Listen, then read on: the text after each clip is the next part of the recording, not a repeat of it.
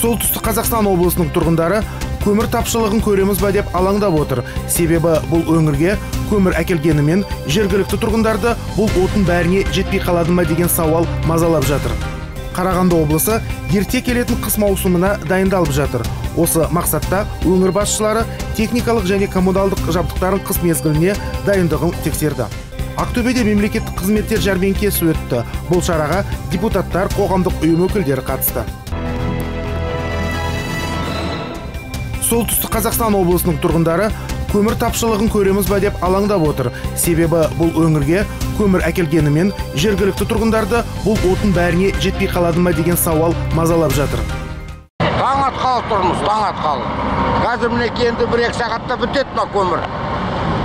Ана үш километрден де артық. Ана панфиловта тұр. Бұл масқара ғой мынау. Сағат жетіден кете келдік мінекей әлі. Міне бітіп қалды ғой.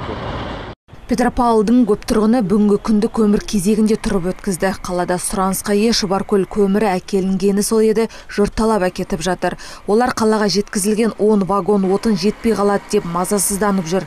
Зейнеткер жақсылық жақсыбаев көмір алу үшін кейбір адамдардың көлік ішінде қонғанын айтады. Үйде кішкентай балаларымыз бар үйде көмір жоқ. Енді бар көмірге қолымыз жетпей отыр. Еще қымбатшылық.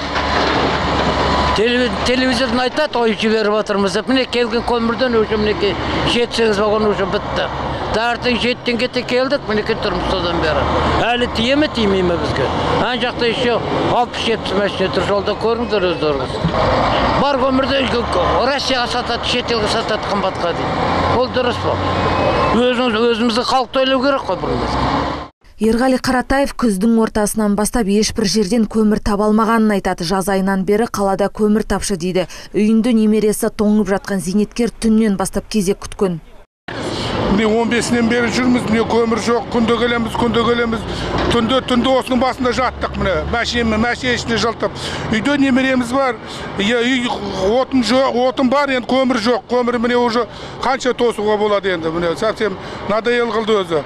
Иә енді бұл қай уақытта болатынын енді қашан алатынымызды білмейміз әлі жүрміз міне сандалып өзім пенсионермін міне пенсияға шықтым иә үйде кемпірім бар бәрі немерем бар иә солар енді міне тоңып отыр енді жоқ көмір міне міне осында келген келеміз ба жоқ па валентина филиппова екі баланың анасы екінші топтағы мүгедек таңғы бес жарымнан бастап кезекте тұрғанын айтады балаларымды ата әжесіне апарып тастадым дейді ол көмір күтіп жүргендеріне үш апта болыпты мне нечем топиться чем пеш жағатын ештеңем жоқ. Не жағам. Қазір сағат таңертеңгі алтыдан бастап көмір күтіп отырмын.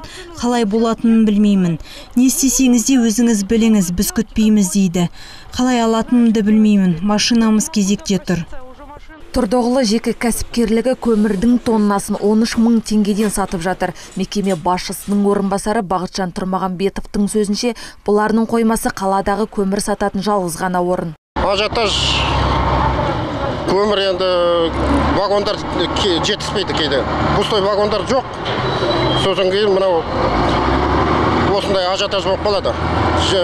Бір екі жұмадай көмір болмай қалады да. Соның осындай халықтар нетеді кішкене жиналып кетеді. Бастады ғой таңертеңгісін бастады. Қазір түстен кейін бітіп қалады. Осы жүреді осылай алып кетеді. Халық. Жергілікті билік көмір тапшылығын мойындап бұл жағдайды аймаққа көмір жеткізетін вагондардың жоқтығымен байланыстырып отыр. Области на сегодняшний день э, облыста қазір 25 мың тонна көмір бар. Дегенмен петропавл қаласында көмір жетіспеушілігі байқалып отыр. Ол вагондардың жетіспеушілігінен. Бұл мәселе бойынша қазақстан темір жол компаниясымен ақылдастық. Енді петропавл қаласына шұбаркөлден күнделікті 10 вагон көмір тасымалданатын туралы келісім бар. Ресми ақпарат бойынша 2017-2018 жылдары петропавл тұрғындарына 410 мың тонна көмір қажет. Қазірше тұрғындарының 65 пайызы көмірмен қамтылған. Аймаққа әлі 140 мың тонна көмір жетіспейді. Қарағанды облысы ерте келетін қыс маусымына дайындалып жатыр. Осы мақсатта өңір басшылары техникалық және коммуналдық жабдықтарын қыс мезгіліне дайындығын тексерді. Бірқатарға тізбектелген арнайы коммуналдық техникалар жаңа киімдермен қамтамасыз етілген жұмыскерлер. Бұлардың барлығы коммуналдық қызметкерлердің қыс мезгіліне дайын екенін көрсетеді. Алайда облыс әкімі ерлан қошановты дайындық туралы есеп қанағаттандырмады. Себебі алғашқы қар мен көктайғақ аталмыш сала қызметкерлерінің қауқарсыз тұстарын ашық көрсетті. Если говорить вообще по трудоемкости работ, для Не, того, мне не надо трудоемкость рассказывать. в связи с тем, Почему что мы- случилось, то случилось. Вот первый уже такой случай, вы уже не выдержали испытания. Но у нас всегда в первый Мы этап столько работы. технику купили, мне заверяли, что все будет хорошо. Все, вы купите. Помните, Нурлан Иликбаевич? Ну, и что теперь? Всю зиму так будем? Нет. қалалық билік бұл мәселеге қорытынды жасады қабылдаған шаралар туралы қарағанды қаласының әкімі нұрлан әубәкіров баяндады То есть сегодня техника КГП самого непосредственно благоустройства қазіргі таңда көркейту коммуналдық кәсіпорны оңтүстік шығыс қала федоровка михайловка ықшам аудандарындағы барлық жұмыстарды өз мойындарына алады. Ал сұрыптау пришахтинск бөліктерінде барлық тазалық жұмыстарын күшейту үшін 101 бірлік техника жалға алынды. Алдағы уақытта мұндай проблемаларға жол берілмейді деп ойлаймын. Көркейту мекемесінде қыс маусымына арналған техникалар саны 135 бұлар автогрейдер трактор бульдозер және жүк тиегіш көліктер. Былтыр коммуналдық кәсіпорны су жаңа 60 бірлік техника сатып алған еді. Биылғы жылы олардың қатары 15 арнайы көлікпен толыққан. Қазіргі таңда қыс мезгілінде жолға себілетін 17 800 тонна құм мен 1500 тонна тұз бар дейді көркейту коммуналдық кәсіпорны басшысының орынбасары думан маралбаев.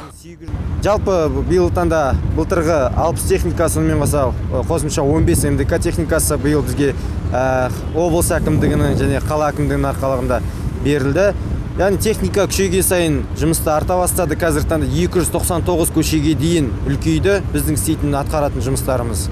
Техника барлық жерге жетеді деп айта алмаймын бірақ барынша тырысамыз. Қанат байғұтовтың көркейту коммуналдық кәсіпорнында жұмыс істегеніне жарты жыл болыпты. Қанаттың айтуынша жұмыскерлердің барлығы халықтың қамы үшін тыңбай еңбек етеді. Сондай ақ керекті техникалардың барлығы қамтамасыз етілген.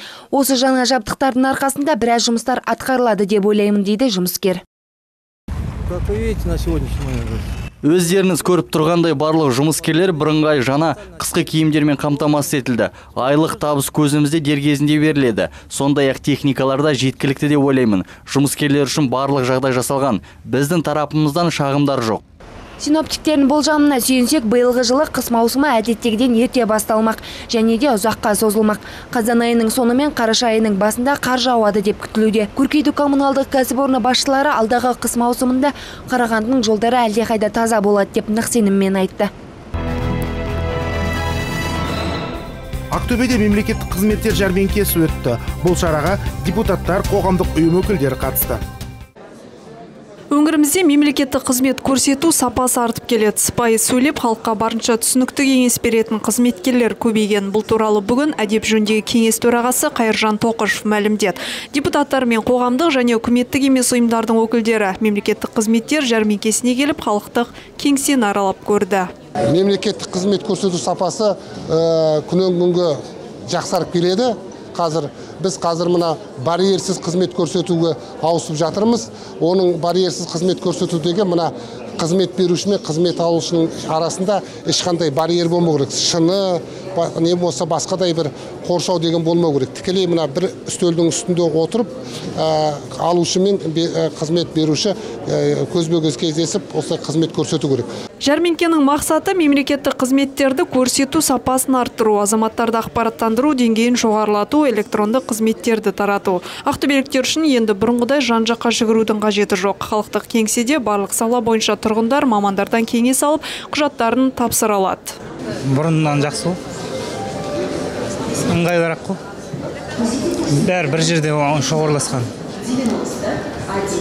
Анда мында жүре бермейсіз келіп мына көріп жақсы екен деп қарап халықтар да риза болып жатыр бұрында бұрында анда анда біресе ана жаққа барасың біз бәрі бір жерде. Бұл да халықтың әйтеуір игілігі болсын істеп жатқан рахмет. Әйтеуір бәрі келген жұмысымыз бір жерден бітіп жатыр ризамыз Аптасына халықтық кеңседе 3500 адамға қызмет көрсетіледі. Дені жер кезегіне тұру құжаттарын тапсыру мәселесімен келеді. Бұдан кейін қалалық құрылыс сәулет бөлімінің мамандарына келетіндер көп. Халықтық кеңседе коммуналдық қызмет, құқықтық қызмет орталығы, халыққа қызмет көрсету орталығы мамандары мен банк өкілдері де отырады. Кесте бойынша қала әкімі мен қалалық мемлекеттік мекемелердің басшылары қабылдау жүргізеді.